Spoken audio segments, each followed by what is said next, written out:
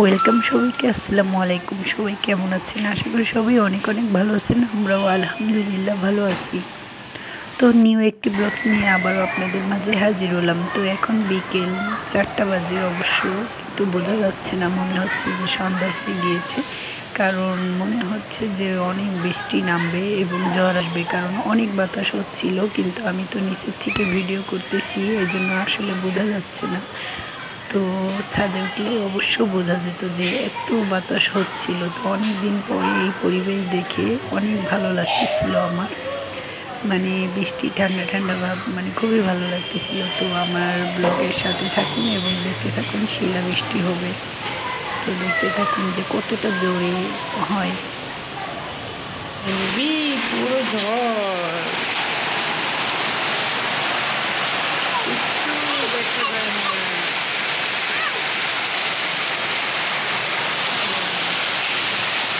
তো এটা হলো আগের দিনে বৃষ্টি হয়েছিল বিকেলে, সেইটাই আমি ভিডিও ধারণ করলাম। আর এটা হলো পরের দিনে। তো পরের দিনে তিনটা কাস্টমার আসলো কালার করতে। তো এক একজনের একই রকম, আর এটা, এর হলো পুরো চুলটা। আর ওরা তিনটা তিনটা, ছয়টা স্টিক করবে মোটা মোটা। যাই হোক, যাদের ইচ্ছে মতো কালার করল তো আমি করে দিলাম। আর এরপরে যাব রান্না বান্নাতে আর আমার শোকেসটা বিক্রি করব করব অনেক দিনই ভাবতেছি, তো সেটাও নিবে, সেটাও একটা ঝামেলার ভিতর আছি। তো তাদের ইচ্ছা মতোই আমি কালার করেছি, তাদের চয়েসও হয়েছে আর পুরোটা ভিডিও করতে পারিনি, কারণ ওরা ওয়াশ করেছে বাসায় যেয়ে এই জন্য আমি পুরোটা ভিডিও করতে পারিনি।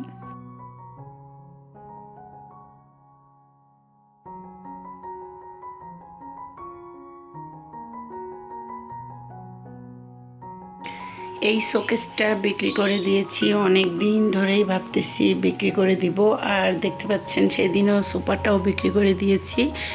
আর হয়তো এটা বিক্রি করে আমার একটা কিছু কেনা লাগবে। এটা অনেক পুরনো ছিল। তো এই জন্য আমি বিক্রি করে দিয়েছি। তো আর একটা কিনবো, কি কিনবো এখনও জানি না। আর এই যে শোকেছে যত জিনিস ছিল, দেখতে পাচ্ছেন যে কি অবস্থা আমার ঘরের। এই যে পার্লারের জিনিস ছিল, মেশিনপত্র আর এদিক থেকে এই যে বক্স মানে সব এলোমেলো দেখতেই পাচ্ছেন যে কি অবস্থা, ঠিক আছে? এগুলো আমি কিন্তু সব গুছাবো, আপনাদের সাথে শেয়ার করলাম যে এই আমার অবস্থা, ঘরের অবস্থা খুবই শোচনীয়। তো দেখেন, আর এই যে মেকআপের বক্স ঠিক আছে? এই অবস্থা।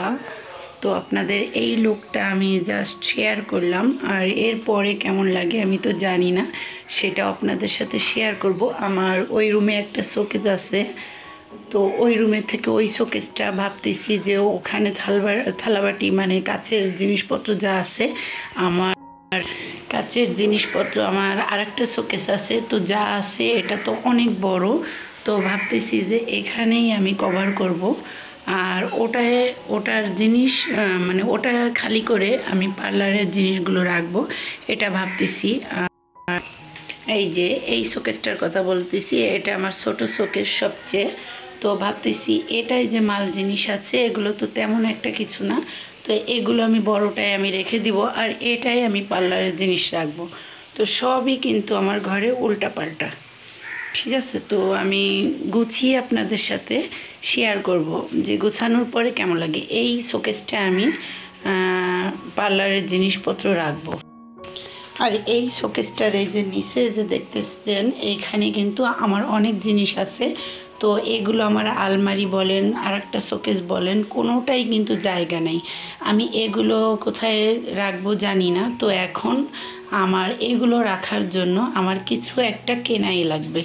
তো ভাবতেছি কি কেনা যায়।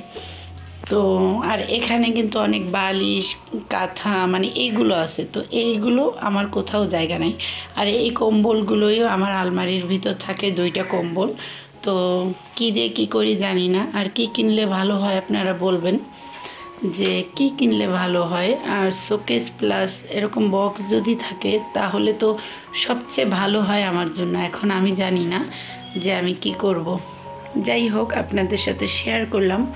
তো আপনারা বলবেন, আর গোছানোর পরেও আপনাদের সাথে শেয়ার করব। সবাই সাথে থাকবেন। সকাল থেকেই ব্যস্ততা কারণ সকাল সকালে উঠেই তিনটা কাস্টমার চলে আসলো চুলে কালার করতে। তো তাদেরটা করতে আসলে অনেকটা লেট হয়ে গিয়েছে আর এদিক থেকে রান্নাঘরেও চলে আসা লাগল ওদিক থেকে শোকেসটাও খালি করা লাগতেছে টোটালি অনেক ব্যস্ততা। আর এদিক থেকে সিজন সানবির জন্য একটু গরুর মাংস রান্না করব অল্প একটু আর আমার জন্য আমার জন্য রান্না করব চামড়া মানে মুরগির চামড়া, ঠ্যাং, গিলা এইসব, কলিজা, ঠিক আছে?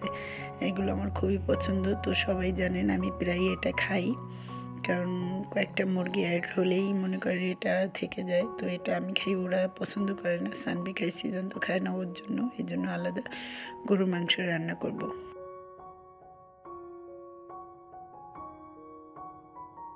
আর মশলা যা যা লাগে, যেমন রসুন বাটা, জিরা বাটা, আদা বাটা, সবই ফ্রিজে রাখা ছিল, ওটাই আমি বের করে রেখেছিলাম। এই জন্য আর দুইটা চুলাই দিয়েছি, একসাথে একটু কষ্ট হয়। তো আমি আবার রাঁধতে পারি, দুইটা, তিনটায়ও রাঁধতে পারি, কিন্তু একটু দ্রুত করা লাগে। যাই হোক, কারণ অনেকটা দেরি হয়ে গিয়েছে, ওদেরও খিদা লেগেছে, এদিকে কাস্টমার ছিল, কি করব? তো সেই অনুযায়ী রাঁধতে হবে, তো আমারটা খুব তাড়াতাড়ি হয়েছে, কারণ ওদেরও খিদা লেগেছে। তো সেই অনুযায়ী দুটা যেহেতু দিয়েছি খুব তাড়াতাড়ি হয়েছে। আর এদিক থেকে প্রেশার কুকারের জন্য দিয়েছি কারণ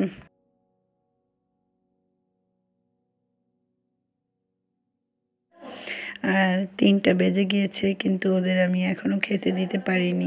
তো এই জন্য এত তাড়াহুড়া করে রাঁধতেছি তাও যাই হোক উম, গোষ্ঠটা হয়ে গেলে গরুর মাংসটা হয়ে গেলে ওদের দিয়ে দিব।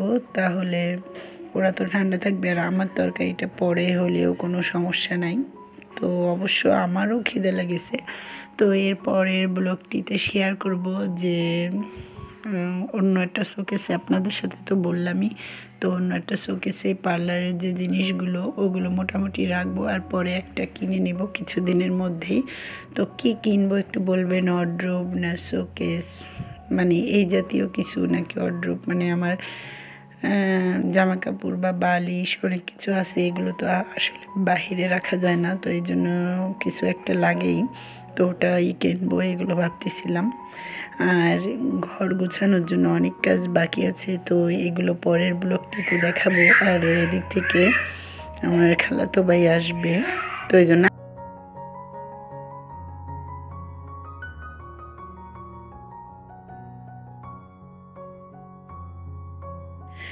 ঘরে মেহমান আসার আগেই ঘরের জিনিসপত্র গুছানো লাগবে, কারণ কীরকম লাগে আর সবই উল্টাপাল্টা তা তো আপনাদের দেখালাম। তো আসার আগেই ঘরটা ক্লিন করে রাখব।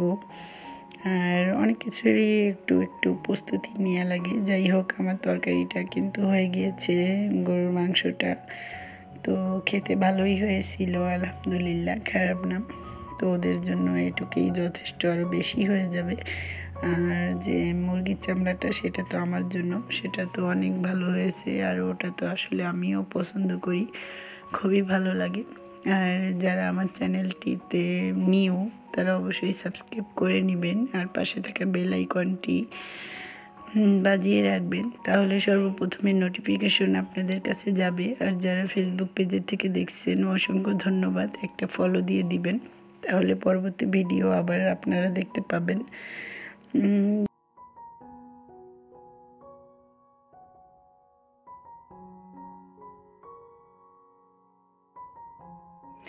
আর আমার ভিডিওটি যদি কোনো একটি কারণে আপনাদের এক বিন্দু ভালো লেগে যায়, তাহলে ছোট্ট একটি করে লাইক দিবেন। কারণ আপনাদের একটা লাইকের জন্য আরও অনেকের কাছে পৌঁছে দেবে এই ভিডিওটি। তো পারলে ছোট্ট একটি লাইক দিবেন। আর কমেন্টস করবেন কেমন হলো। তো আজ এই পর্যন্তই। আল্লাহ হাফেজ